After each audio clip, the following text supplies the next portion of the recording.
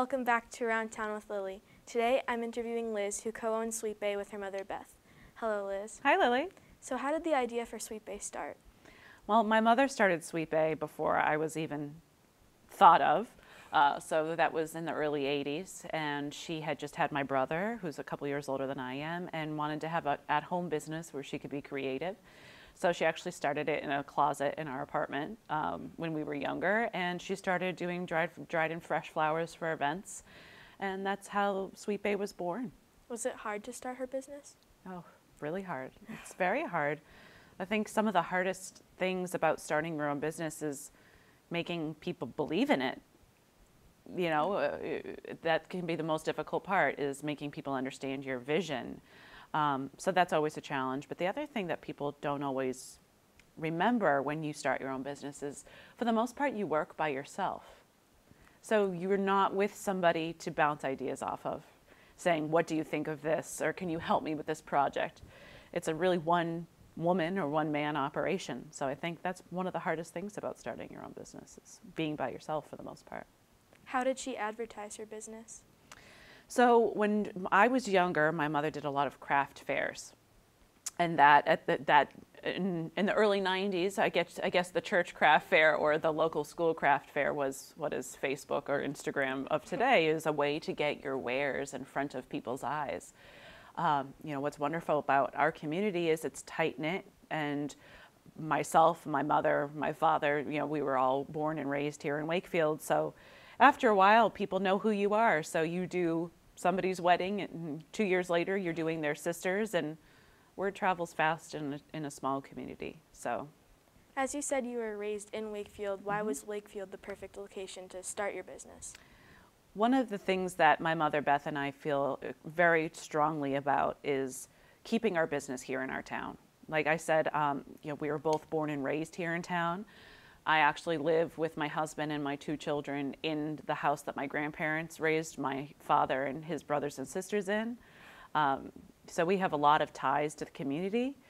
And we feel very passionately about infusing our downtown economy with action and things to do and browsing stores. It should be a happening place, and it's very important to us to keep our business and our home here in our town. Do you have any other locations? We do. So we have our shop on Main Street, which people are most familiar with. Um, however, in November, we actually opened a second location right around the corner in Albion Street. It's about 50 steps away from our Main Street location. So we're calling that shop Sweetbay Home. Um, we would love to have them both combined together.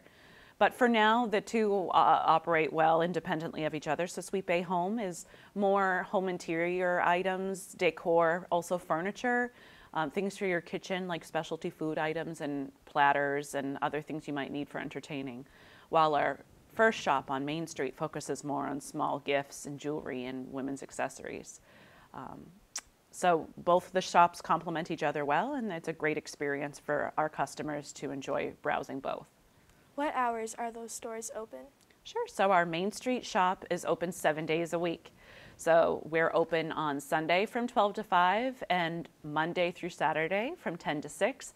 And we're actually thrilled to be welcoming our back our favorite WHS senior to be open on Friday evenings for us. So starting in April, we'll be open on Friday until 8 o'clock. So if you're downtown enjoying our restaurants, you can come shopping while you wait for a table. Um, and our shop on Albion Street is open those same times, 10 to 4, just a little bit more limited. What's the main purpose of Sweetbay?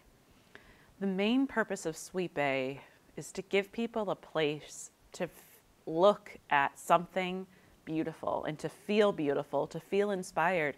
So many people that come into our shop on a daily basis say, This is my happy place. It's our happy place. And that's what we want to give back to our community is we want people to go to a place that brings them joy and peace.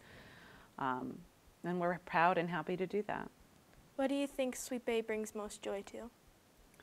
Who do I think Sweetbay brings most joy to? Mm, that's a great question.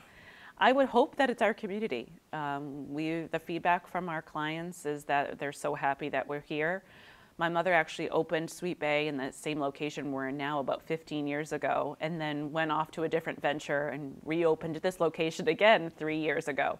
Um, so when we first opened, reopened, people were just thrilled that we were back. And I think it restores the pride that our community has in our downtown. And we are trying our best. You know, we work hand in hand with Wakefield Main Streets, with our merchants to really bring that attention that our downtown deserves. So as you mentioned earlier, Sweetbay sells some women's products and stuff. So what's the most important thing that your store sells that you think? The most important thing, I'm going to go right back to it, might not be something that you can touch and feel, but it's happiness and pride. And I think that's something that you can't put a price on. Where do you get most of your items from? So a lot of our items, we have certain companies that we work with, just like any of the big box stores, um, you know, like a Macy's or Anthropologie or J. Crew. They have certain designer labels, if you will, that produce their goods. So we will go to these home and gift shows and find new and exciting companies to work with. Whenever we can, we'll shop locally. Um, so for example, I have some wonderful honey um, and really beautiful maple syrup and also some greeting cards that are made here in our community. Um, so whenever we can and it makes sense for us and our clients, we'll, we'll bring in some local products, but we're always looking for new and exciting things. How many employees do you have?